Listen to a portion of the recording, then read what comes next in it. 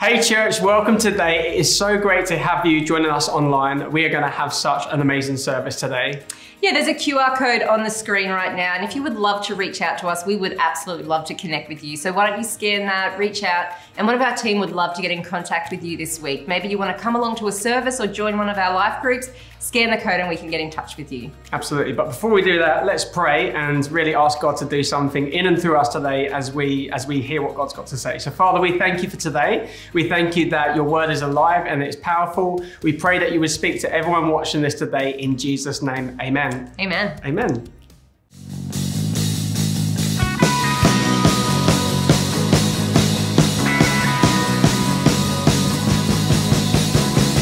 This holy desire is burning and it just gets brighter. Can't put out this fire. I've just gotta lift you higher. If there's ever been a time, the time is now. Right now.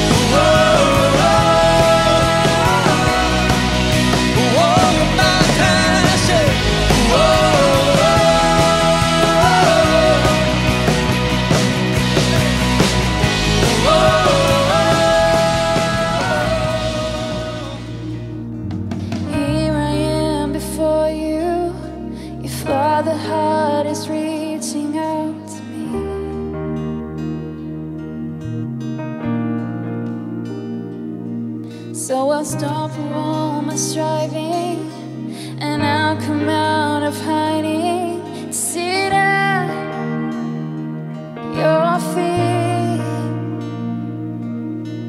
I bow down before you, surrender.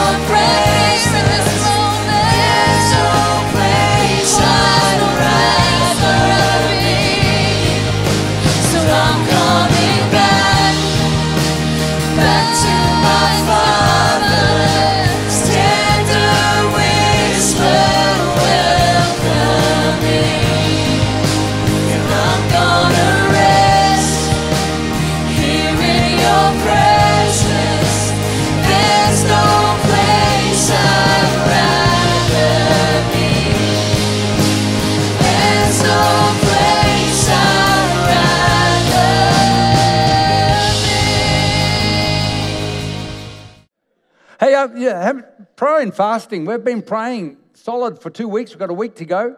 Um, and you know what? My prayer is that this shifts something in our life.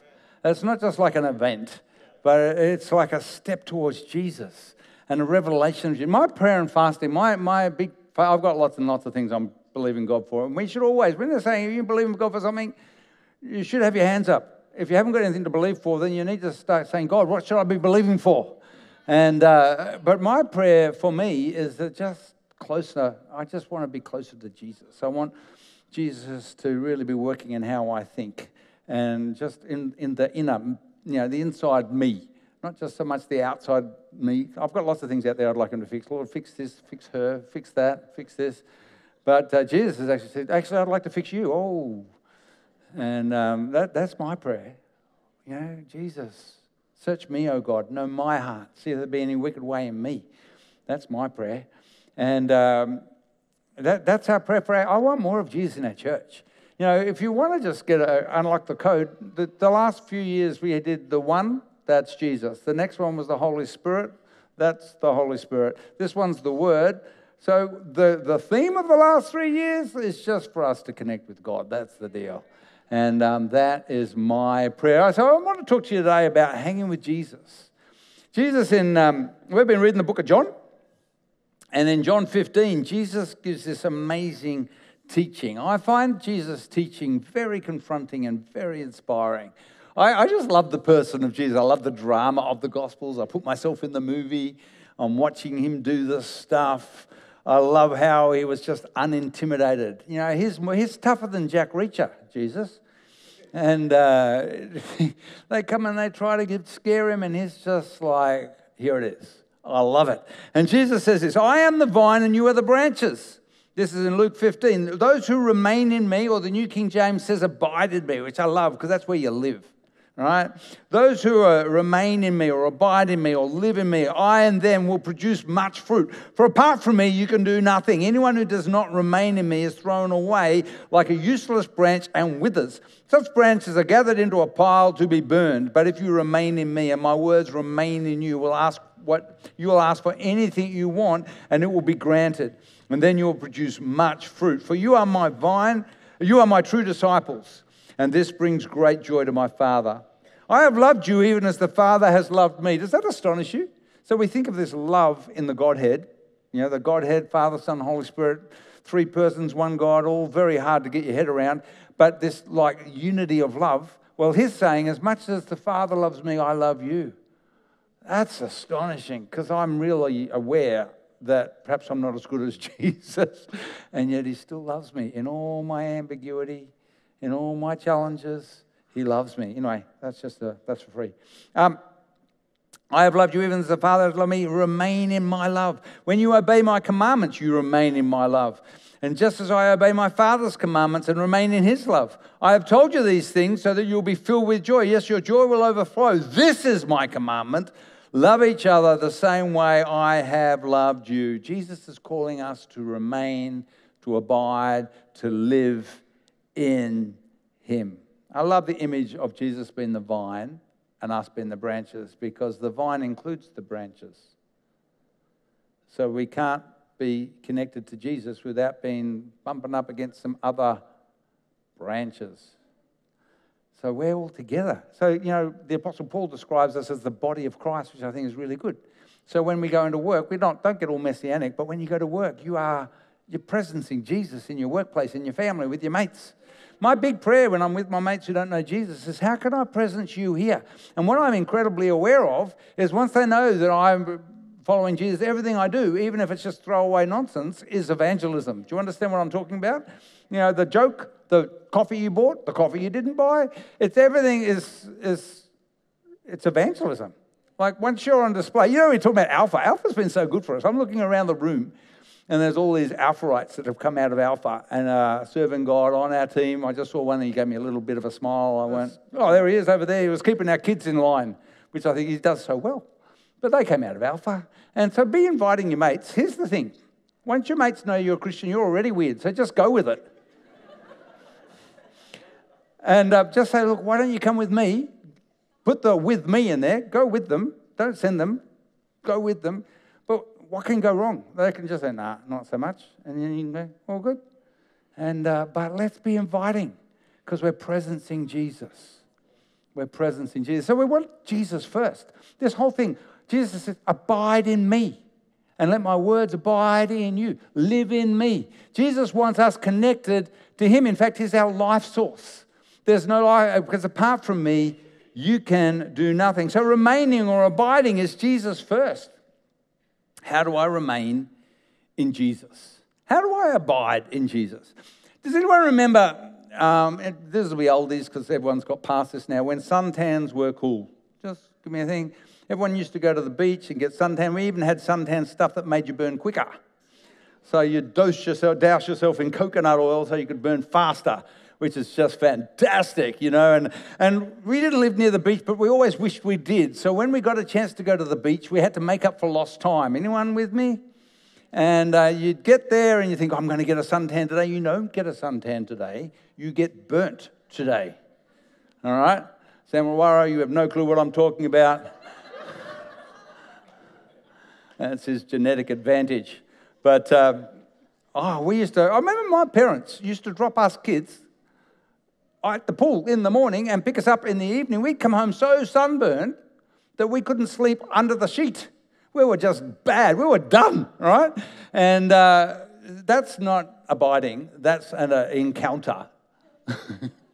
God doesn't just call us to encounter Him, He's called us to abide with Him.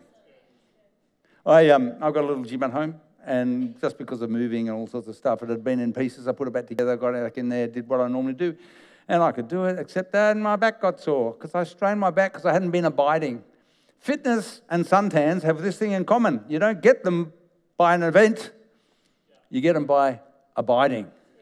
You know, I'm going to do a marathon tomorrow, so I'm going to stay up all night practicing. That's not going to help. All right? God's called us to abide in Him, live in Him. He's our life source. You ever knocked a branch on a, on a, on a plant in the garden? Any small boy kicking a football knows this truth. You put the branch back in place, no one knows for a day or two. And then all of a sudden, one of these branches is not like the others. And that's exactly what Jesus is talking about here. He's called us to stay connected because the life source comes from Jesus and the fruitfulness comes from Jesus. So, what we need to do, abiding is a habit. A, a, great prophet of, to the nations, David Brock, said to me, If you want to change your life, what you have to do is change your life. Whoa. What we need is some new habits we need to change some things. You know, Jesus talked about the private habit of prayer. Matthew 6, he says, when you pray, don't pray in the street corners. Now, there's less of that these days. Back then, it was pretty popular and cool. These days, less people are standing in the middle of Queen Street going, praying. It's not happening so much. But he's saying, look, don't be doing, well, tonight we're coming here to pray and worship. And we're coming here to encounter God. But that shouldn't be all of it. This morning, I love church. You get Jesus, worship, coffee. It's fantastic. And you get people, great people as well. And the coffee helps you deal with the people. But, I, I love, but this can't be all there is. I just, I, I just don't come from a little God spot and then carry on. He's called me to abide. I don't just plug in. It's not like a recharge point for your Tesla. It's like we're called to abide, stay connected. And he talks about this when you pray, go in the room, shut the door, and don't babble on. Don't use big words. Just talk to your Heavenly Father, and your Father who sees what's done in secret will reward you openly. We need to have a, a, a connection, a God connection habit. That's what abiding looks like. It's connecting with God. And, not, and, it's not even just that little bit in the middle of the, in the morning. I used to feel so guilty growing up because I'd miss my devotions in the morning like every day. And so then I thought, oh, I can't pray for you in the day because you know, it would make me hypocritical. And God's going, Geoff, you're not that special anyway. Just have a chat. But that personal habit, we need some personal habits of spending some time in His Word. You know, I know when I talk to God, but when I'm reading the Bible, He's talking to me. And I find it incredibly confronting often, which is awesome. So we need personal habits of abiding. Regular time with Jesus keeps me alive. Anyone who does not remain with me is thrown away like a useless branch and withers. See, the thing is, God doesn't disconnect us from the vine, we disconnect ourselves from the vine. And then we die. Then once we're dead, we're no good. So we're not good for the vine. But we can, if we stay plugged in, then His life flows into us. Regular time with Jesus unlocks my vision and purpose. I am the vine and you are the branches. Those who remain or abide in me and I in them will produce much fruit, for apart from me you can do nothing. Or Romans 12, Paul says it this way don't copy the customs and behaviors of the world, but let God transform you into a new person by changing the way you think. Then you'll learn to know what God's will for you, which is good, pleasing, and perfect. You know, we obsess a lot about God's will for our lives, and we should, but typically we're thinking about what we should be doing. You know, oh Lord, what's your will for my life? What can I do? Jesus thinks, my will for your life is for you to be like me. So Jesus is actually much more concerned about who we are than where we are or what we're doing.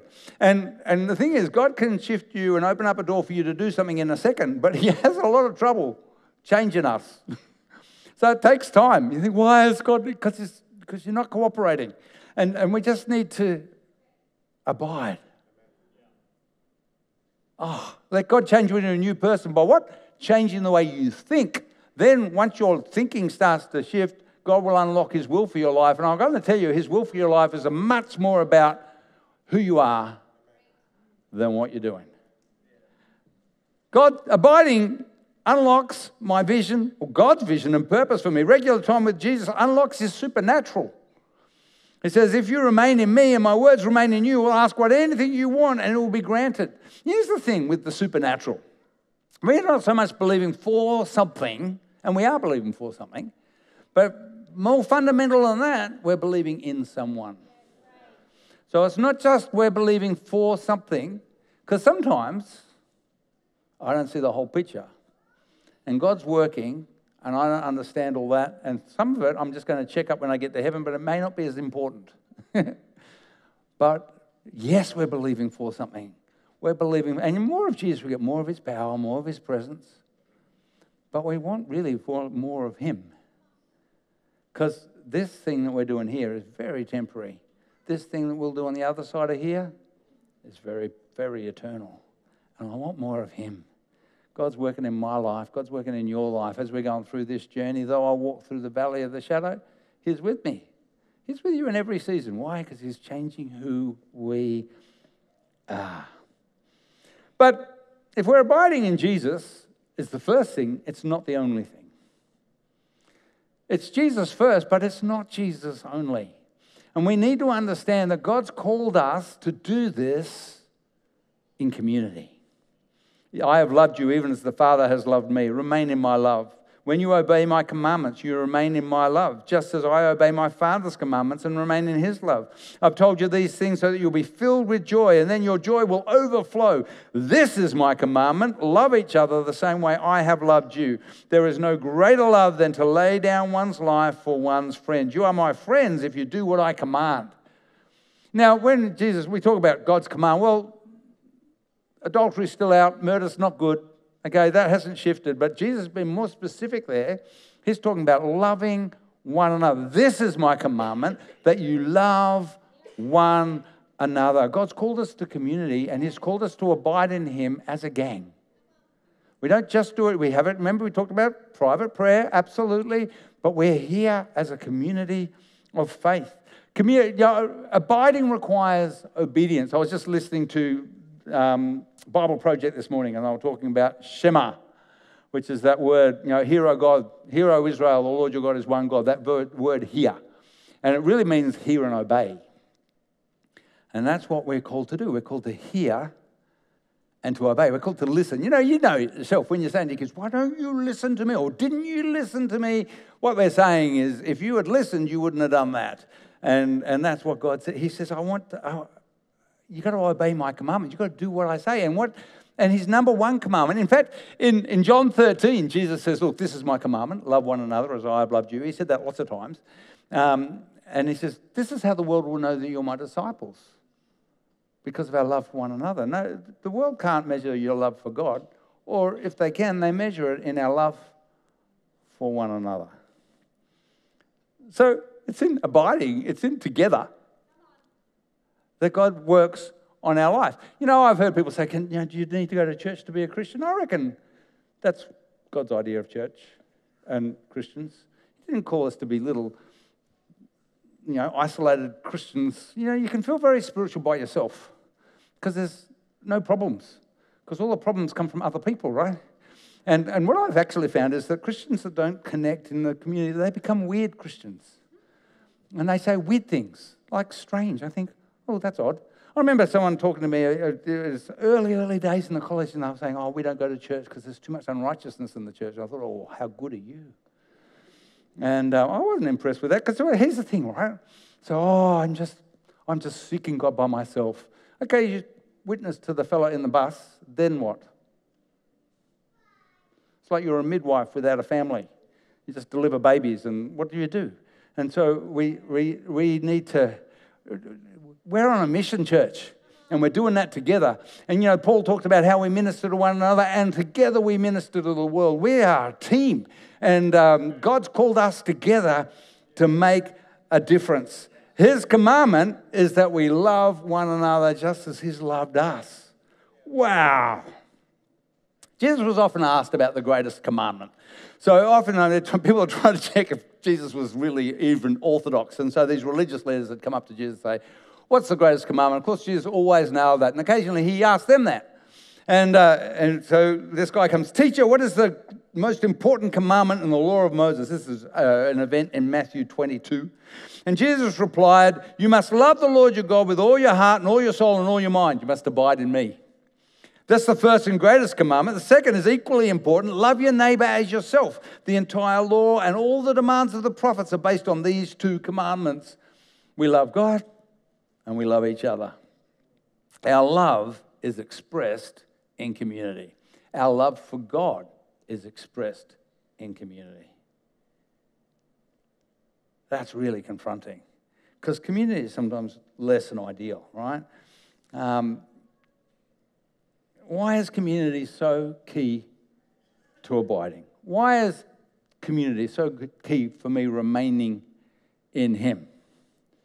Well, because community gives me the opportunity to live like Jesus.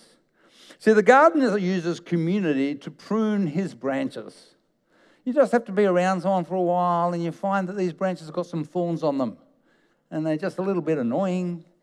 Um, you know, community, like marriage, is hard work because it's really close community. Um, parents found in COVID that their kids were hard work, this community wouldn't go to school. You know, they come home here and they're just with them all the time. You come to church, you join a team, and you've got, you know, Julie or Betty or Bill or Bob, and you think, oh, I don't want to be on team with Bob. And um, if your name's Bob, I don't even know. So, but it, it, see, relationships reveal my weaknesses and they also express my strengths. That's where I express my strengths. But God uses relationships I am the vine, and my Father is the vine dresser. Every branch in me that does, bear, does not bear fruit, he takes away. And every branch that does bear fruit, he prunes that it may bear more fruit. He does that in community. See, the fruit of the Spirit is love, joy, peace, long suffering, kindness, goodness, faithfulness, gentleness, self control. All of those attributes that are the fruit of the Spirit are expressed in community. Although I do get the opportunity to be long suffering with myself, you know, when you where did I put that thing? I hear myself say, oh, it's lost forever. And I thought, and a little voice says, Geoff, you've said that lots and lots of times. And it's come back. And I asked my wife to panic with me, and she never does. Never does. But love, joy, peace, long suffering, kindness, goodness, faithfulness, gentleness, self control, they're community attributes. Jesus is using your relationships to, to shape you to be more like Him. That's why church is so awesome because you've got imperfect people on the journey just like you. And just like He's using them to shape you, guess what He's using you for? To shape them. Forgiveness is only possible in relationship. I can't forgive someone I don't know. I, I, if you forgive those who sin against you, this is Jesus, this is the boss, right? And he said this a couple of times, so it wasn't a mistake. If you forgive those who sin against you, your heavenly Father will forgive you. But if you refuse to forgive others, your heavenly Father will not forgive your sins. Jesus said that a couple of times. Whoa. See, forgiveness is only possible in relationships, in the context of relationship. If I've got nothing to forgive, so, you know, while I'm out there on a pole meditating on Jesus, I don't have to forgive anybody. But when I'm in community, I become like Jesus because I get to forgive. And that's essential for your marriage, for your parenting, for your mates. It's just, we just need to be good at forgiving. Sacrifice is only possible in relationship. This is my commandment love each other the way I have loved you. There's no greater love than to lay down one's life for my friends. You know, in Romans 12, Paul talks about in honor preferring one another, or it's like we put others before ourselves. I love that. That makes us like Jesus. Jesus said, Look, if you want to be great, you've got to be the greatest servant, even the Son of Man, even me didn't come to be served, but to serve and to give his life as a ransom for many. So we're called to serve. You can only serve in relationship. The message is clear. We are to abide in Jesus because it's from Jesus that we get our life source. It's from Jesus that we have life. I am the way, the truth, and the life. As we abide in Him, we receive that love. But we can't abide in Jesus alone. We're called to abide in Jesus together. Jesus didn't come to create a whole bunch of individual Christians. He came to build his church. I will build my church, and the gates of hell will not prevail against it. There is something incredibly, profoundly powerful about the church. The church is bigger than Life Church. There's lots of gatherings of the church. The church is the army of God that's following Jesus. Got a mate here, Jeff Bray. He goes to a great church in Chinchilla with Lee and Carly Dolman, and they're just awesome. And uh, so it's not like this building, it's not the building, it's we are the people of God. And God is using his people, he has positioned us in this generation to steward this generation and this generation of mission. If we drop the ball, then we can be the broken link in the chain. We, you know, people say, "Oh, I don't know if Jesus is coming back this." I don't care where Jesus is coming back in this generation. I've got to tell you, he's going to be a bit quicker than he's been to beat me there. I reckon I'll get to Jesus before he'll get here. Just quietly, that's my prediction. If he comes and I'm wrong, what are you going to do? But uh, this is the last generation we've got. This is the last generation we've got. We're not going to get another show at this. Jesus came to establish a life giving community of faith. So we're to put Jesus first by loving and serving one another.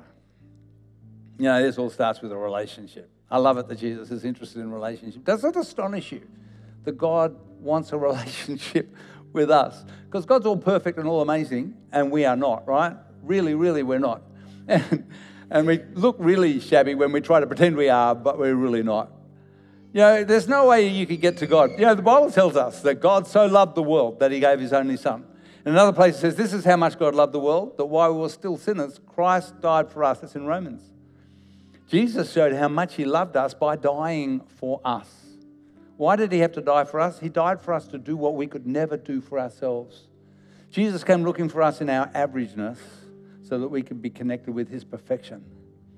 He doesn't just pick perfect people, he picks broken people because that's all there is. We're all a bit busted.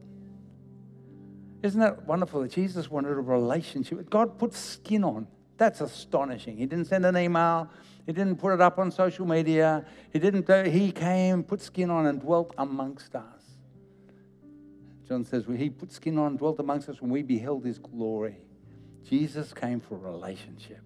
He didn't come so you could encounter God. He came so we could walk together through the highs and the lows, the green pastures, you know, he makes me lie down in green pastures, Psalm 23. Though I walk through the valley of the shadow of death, still Psalm 23.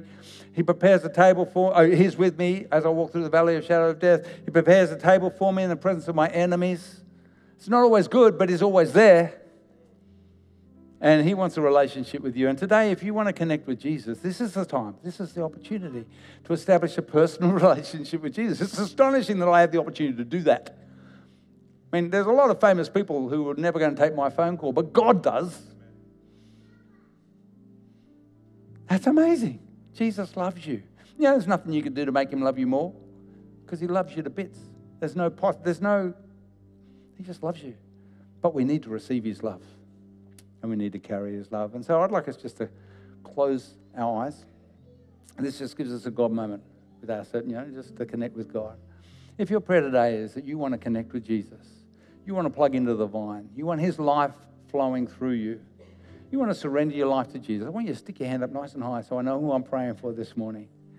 Just give me a wave. Put your hand up high and say, Yeah, I see that hand. I see that hand.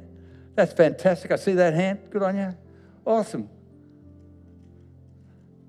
Who else this morning saying, Yeah, that's me? I'm saying yes to Jesus. I want to connect my life to Jesus this morning. Just give me a wave because I'm going to pray for you. I can see your hands down the back there.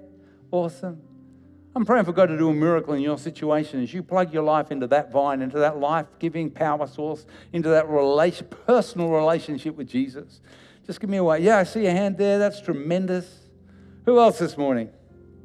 Saying, yeah, I'm saying yes to Jesus. I'm surrendering my life to Jesus. Awesome. Why don't we stand together, church? What a great holy moment this is as we surrender our lives to Him. And I want us all to pray and pray with some gusto, you know, with some fufa, because we are enthusiastically responding to Jesus, each one of us.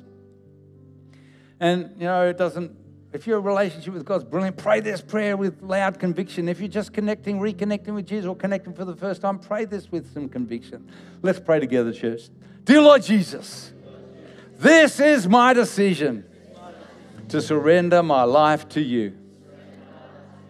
Today, Lord Jesus, I choose to abide in you. Today, Lord Jesus, I receive your forgiveness. I receive your life. I receive your healing. Thank you, Jesus, for accepting me.